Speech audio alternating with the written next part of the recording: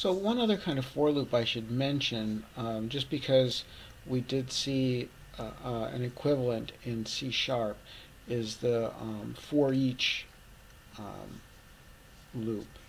And in, in C sharp, uh, the for each is written as one word.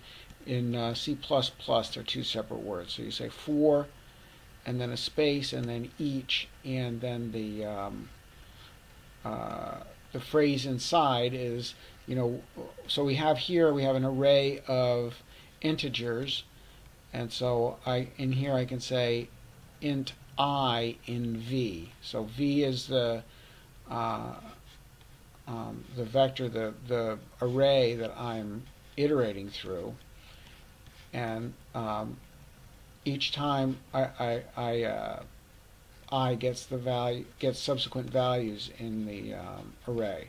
So i cycles through the values 10, 20, 30, 40, 50, and 60.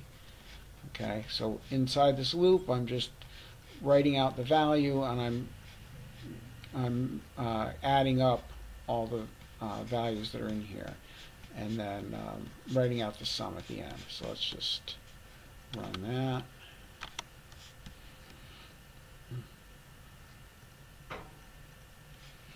And that's for each.